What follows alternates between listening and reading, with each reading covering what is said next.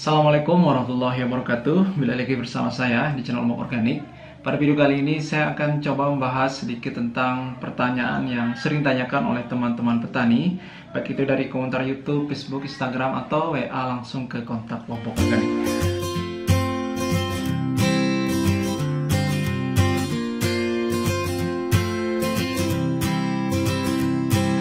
Uh, Pertanyaan ini terkait tentang uh, jamur trichoderma jadi banyak teman-teman petani yang melakukan pemancingan trichoderma di alam sering kebingungan untuk uh, mengidentifikasi dari jamur trichoderma tersebut.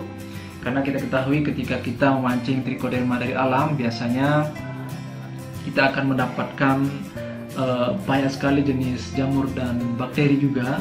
Jadi bagi teman-teman yang baru pertama kali melakukan pemancingan jamur trichoderma di alam biasanya kebingungan dalam mengidentifikasi jenis jamur tersebut. Sebenarnya untuk jamur trichoderma ini kita bisa mengidentifikasi jenisnya. Walaupun tidak menggunakan mikroskop kita bisa mengidentifikasi jamur trichoderma tersebut dari warna dan bentuknya. Bagi teman-teman yang biasa melakukan pemancingan tentu ketika sekilas melihat warna dan bentuk jamurnya pasti sudah bisa membedakan mana jamur trichoderma dan mana jenis jamur yang lain.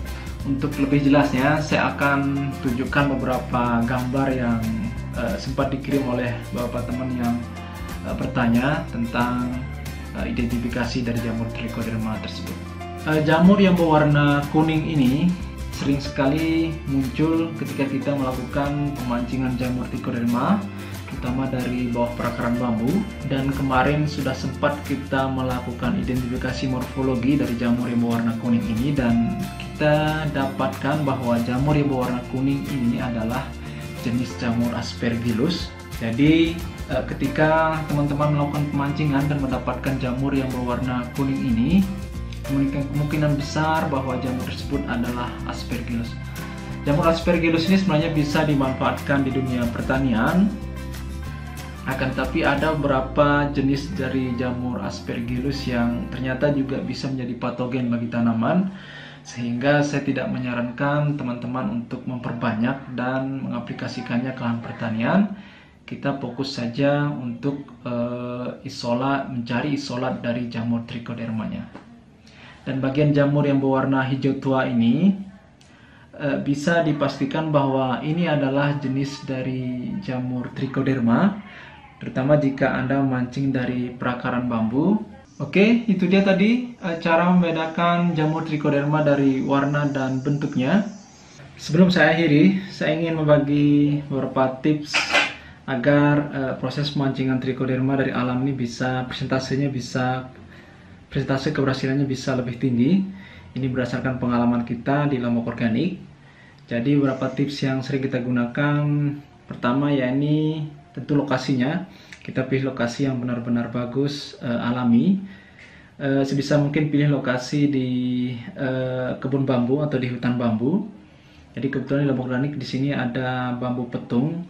Jadi di biasanya kita mengambil uh, isolat trichoderma dari jam bambu petung tersebut. Walaupun sebenarnya di semua jenis bambu juga tidak ada masalah akan tapi kebetulan kemarin sih ada bambu petung dan hasil isolat yang kita kembangkan di sini adalah berasal dari area perakaran bambu petung tersebut Kemudian Uh, ketika kita menempatkan media pemancingannya, kita gali tanah di sekitar perakaran bau petungnya sedalam 30 cm. Ini pernah saya bahas di video eksplorasi sebelumnya, bisa Anda cek di video sebelumnya di kanal YouTube Ilmu Organik. Jadi kita gali tanah sekitar 30 cm, baru kemudian kita benamkan media pemancingannya di sana dan kita timbun kembali menggunakan tanah yang kita gunakan untuk menggali. Selanjutnya adalah uh, tentu media tempat kita menyimpan nasinya atau nasi jagungnya. Sebisa mungkin media tersebut uh, steril. Kemudian nasi yang digunakan juga adalah dari jenis nasi yang bagus, bukan nasi basi. Jadi uh, dan satu lagi nasinya harus lebih kadar airnya harus lebih rendah.